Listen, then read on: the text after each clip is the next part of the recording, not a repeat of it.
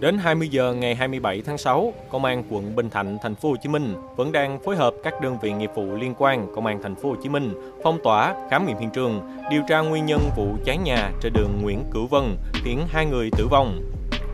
Thông tin ban đầu, khoảng 17 giờ 30 phút, nhiều người dân phát hiện lửa bùng phát tại căn nhà nhiều tầng nằm sâu trong hẻm số 18 đường Nguyễn Cửu Vân, phường 17 nên hô hoáng.